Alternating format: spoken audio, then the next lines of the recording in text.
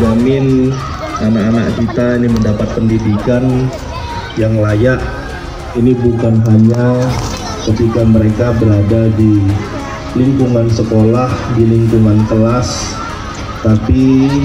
tanggung jawab yang harus kita tanggung juga bagaimana anak-anak kita ini bisa sampai dan pulang ke rumah mereka dengan selamat.